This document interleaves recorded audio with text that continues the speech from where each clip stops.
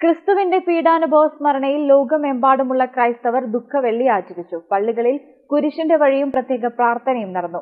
വിവിധ ദേവാലയങ്ങളിൽ നടന്ന ചടങ്ങുകൾക്ക് പുരോഹിതന്മാർ കാർമ്മികത്വം വഹിച്ചു.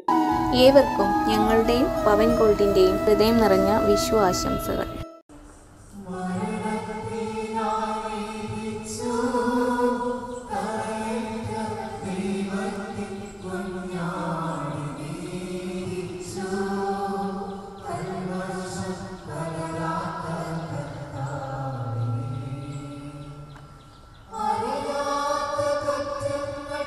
ीवविकुन्द कदन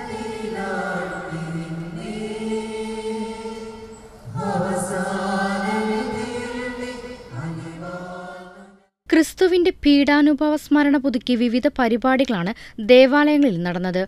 പള്ളികളിൽ കുരിശിന്റെ വഴിയും പ്രത്യേക പ്രാർത്ഥനകളും നടന്നു. അന്ത്യത്താഴത്തിന്റെ സ്മരണ പുതുക്കി ലോകമെമ്പാടുമുള്ള ക്രൈസ്തവർ പെസഹ ദിനം ആചരിച്ചിരുന്നു. ക്രിസ്തുദേവന്റെ അന്ത്യത്താഴത്തിന്റെ ഓർമ്മ പുതുക്കലാണ് ക്രൈസ്തവർക്ക് പെസഹ. വീടുകളിൽ പെസഹ അപ്പം മുറിക്കൽ ശുശ്രൂഷയും നടന്നു. ഞായറാഴ്ച ഉയർപ്പ് തിരുനാളോടെ ക്രൈസ്തവരുടെ അൻപത് ദിന നോമ്പാചരണവും പൂർത്തിയാകും. മലബാർ ടൈംസ് മലപ്പുറം.